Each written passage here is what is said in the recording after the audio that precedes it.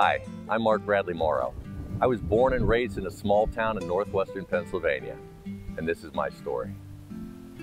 When I first came out with my story to my wife, I knew in my heart, God said, Mark, you are going to write a book about your experiences. I'm like, I, I don't think so. So I was 19 years old, and my dad suddenly died at the age of 45. And then in the very next two years, my two favorite uncles committed suicide. So there I was, a young man. I'm missing the three most important male role models in my life.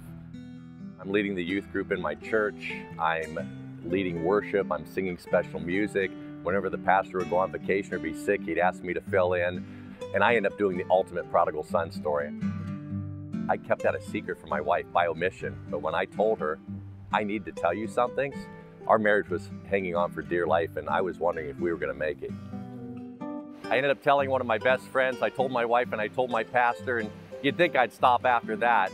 And I know that God orchestrated it so that He would take my bad decisions and poor consequences and He would use them for good in the future. So I think God has a good sense of humor. The first time I ever shared my story publicly was at a pro life music festival in front of 6,000 people.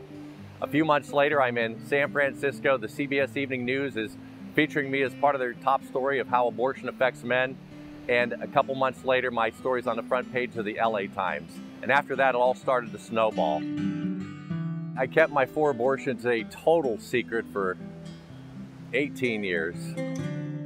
My good friend Brad and I, we've co-written the book. It's called The Greatest Pretender because for all those years, I was a pretender.